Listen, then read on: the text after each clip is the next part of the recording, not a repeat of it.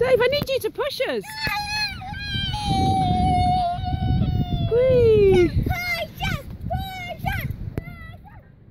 Not, not too fast, because I'll fall. No, because I'll fall off, David. not too fast.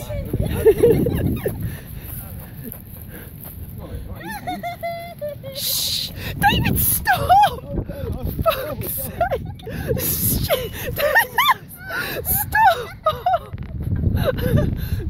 you made me swear. you like that, Annabelle? it goes up and down.